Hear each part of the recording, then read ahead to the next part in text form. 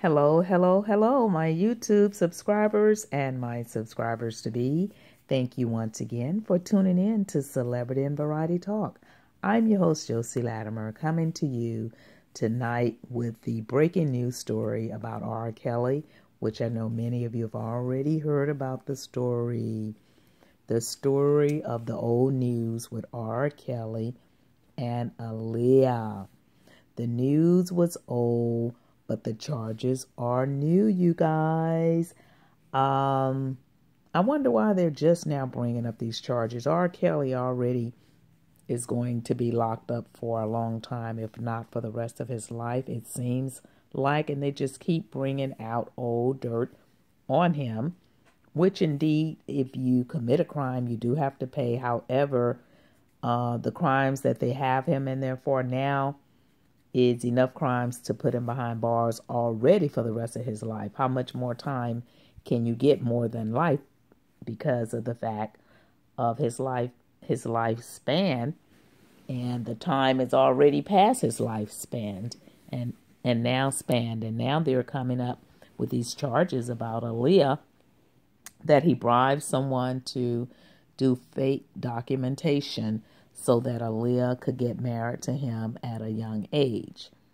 Well, I'm quite sure they knew that way back then. So why now? Like I said, it's a bit late for that because R. Kelly already he's facing enough time past his lifespan. So what I'm saying is all this for publicity because it is R. Kelly.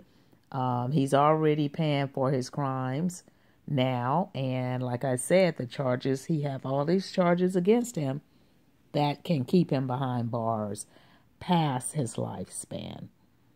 So uh, this stuff with uh, Aaliyah, a lot of people got paid then, but now everyone's coming out, including they said Aaliyah's mother has something to do with it, and she's not saying anything.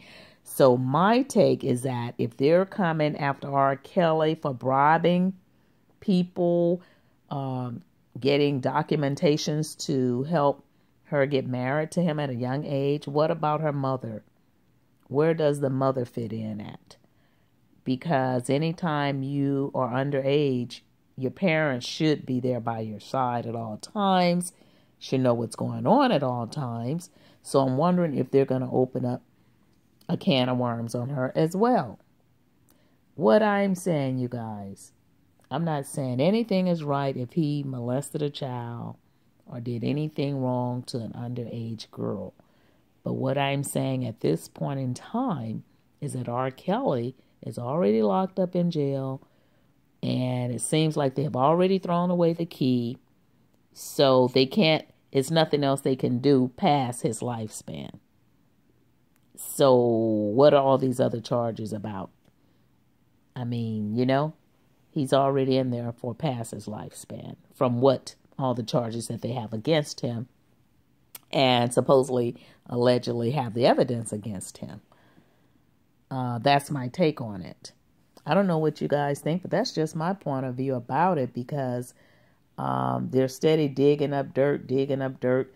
I think it's for publicity to make everyone look good that finds the dirt or finds information uh, about the situation, but where were they when it actually happened? The same people that found this information and this evidence to bring more charges against R. Kelly should have been there at that time to bring those charges against him then, and possibly he would have already been in jail and did his time for that already.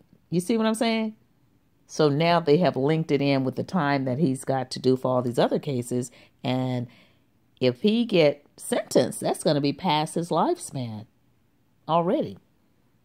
So where were they then when he could have did his time if that was the case? They should have been looking into it at that time. But to bring it out now when it's a bit late because Aaliyah is gone, R. Kelly is in jail for maybe most of his life or all of his life, what more can they do? So it's got to be for publicity. I, I really think that's what it's for.